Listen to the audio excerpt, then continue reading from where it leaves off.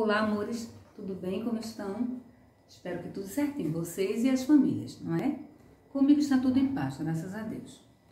Vamos começar mais uma semana, não é? Todos bem-vindos, eu daqui da minha casa, vocês da casa de vocês. Começando com o calendário, olha, ontem foi seis, começamos um novo mês, o mês de junho. J-U-N-H-O, seis. Seis mais um, sete. Hoje é sete de junho, tá? Então, vamos aqui no quadro, olha, os números 1, 0, 1, 2, 3, 4, 5, 6, 7.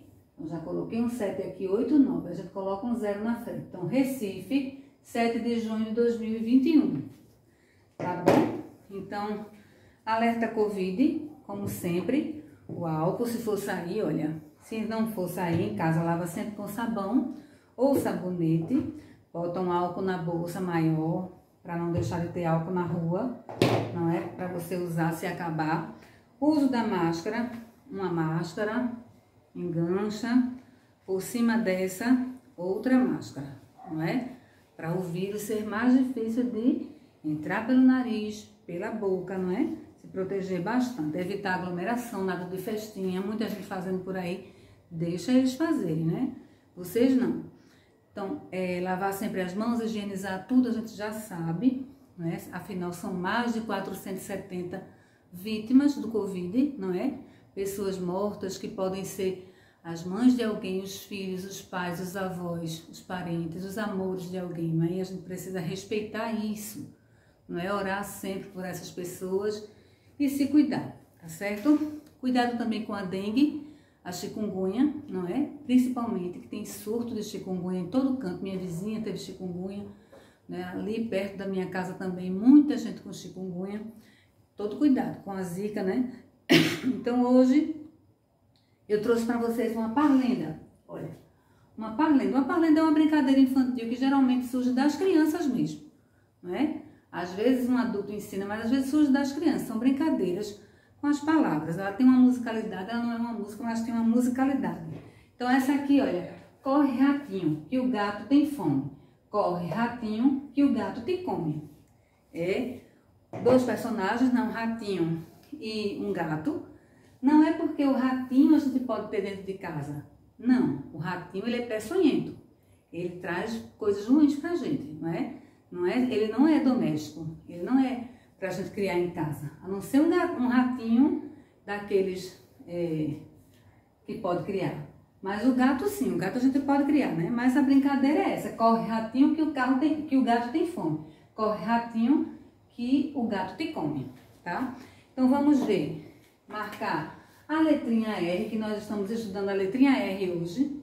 A letrinha R, mesmo no meio. A letrinha R no começo, olha, aqui também dois R's no meio de corre e ratinho. Vamos circular a palavrinha ratinho. Tem duas. Então, vamos ver como se escreve a letrinha R. Olha. Um tracinho, uma cabecinha e uma perninha, certo? Ficou muito legal não essa, mas é assim, tá? Vai até embaixo. Uma curvinha. Vamos lá. Então, duas palavras ratinho, não é? Uma, duas, três, quatro, cinco, seis letrinhas R, que é a letrinha que a gente está estudando hoje. O, a questão do ratinho é um, no sentido de carinho, né? Um animalzinho pequeno, então a gente diz ratinho. Mas o animal doméstico é o gatinho, tá? É, marcar a letrinha R, circular a palavra ratinho. Não, não esqueçam também, olha, é, de circular a letrinha R aí no cartãozinho de vocês, certo? A letrinha R no cartãozinho do alfabeto. Vamos ver o nosso envelope com a letrinha R para não perder tempo, que geralmente fica grande, não é? O, o vídeo. Vamos ver. Então, R. Vamos ao Rá primeiro. Rá de rato. O som inicial rabo, ralo, o ralo do banheiro, o ralo da cozinha, aqui com ré agora, rei, rede, delícia, muitos têm na sua casa para dormir, para se balançar, régua, que é um material da gente, da escola, né? Rio, risoto, que é uma comida com arroz rio. Roda, agora com ró. Ró vai ter bastante. Roupa. Rodo.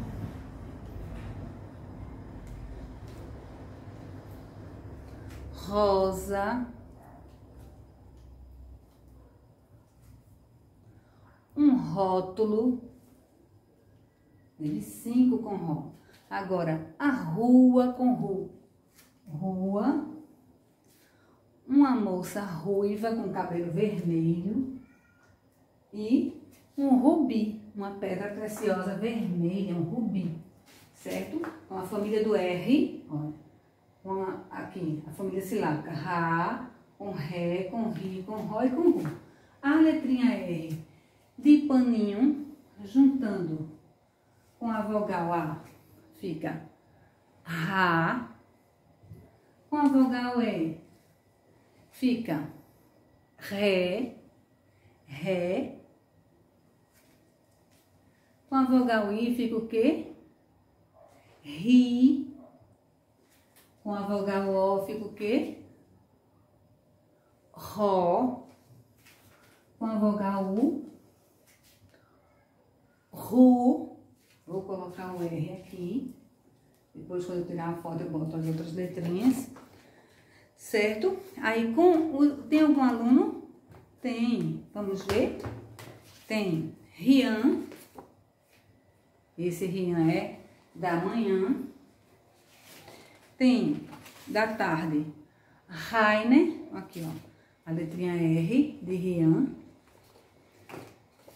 Rainer é Outro Rian da tarde, olha, com R. E Rainer, a letrinha R também. Beijo, lindões. Eles adoram quando a gente coloca o nome deles. E duas mamães, Rosemary, com R, e Roberta. Rosemary, a mamãe de... Cadê? Roberta, a mamãe de Rainer. Roberta. E Rosemary, a mamãe da manhã de Pedro, que é da tarde. Certo? Elas adoram também, a gente falar o nome delas não é?